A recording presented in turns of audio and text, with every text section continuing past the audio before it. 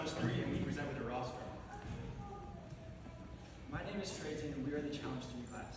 We have a class of six people, but only three of us were able to make it. Challenge 3 consists of, consists of six strands.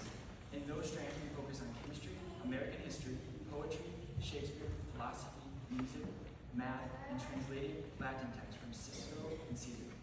In half of our strands, we rotated throughout variety of topics. Today, the three of us who are here would like to give you a small glimpse into the few things we've done this year. I will be reading to you some original poetry. SAC couplet. The early years are called foundations. Time is spent with a variety of memorizations. Essentials is marked by charts and rules, making sure we can write without sounding like fools. The challenge is sure to cover a lot. Our tutors encourage us to connect all the dots. A begins with of writing. B has mock trial, which is meant to be united. One's literature strand requires commitment and heart, while two focuses on world culture and art. Three's time is spent with Shakespeare reading. Four is centered around student meeting.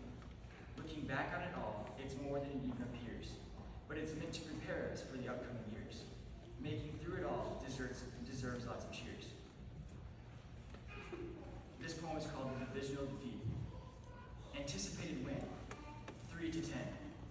A blocked punt, fans stunned. Special teams, killer of dreams. On a magical tie, Super Bowl goodbye. Disappointed again, what could have been. Instead, suppressed tears. How many more years?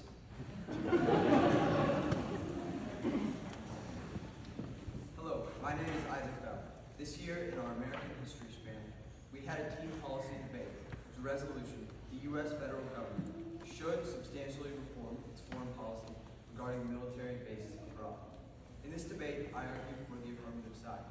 I would like to read you a quote used in this debate from John Quincy Adams, who also argued for a humble foreign policy. America goes not abroad in search of monsters to destroy. She is the well-wisher to the freedom and independence of all.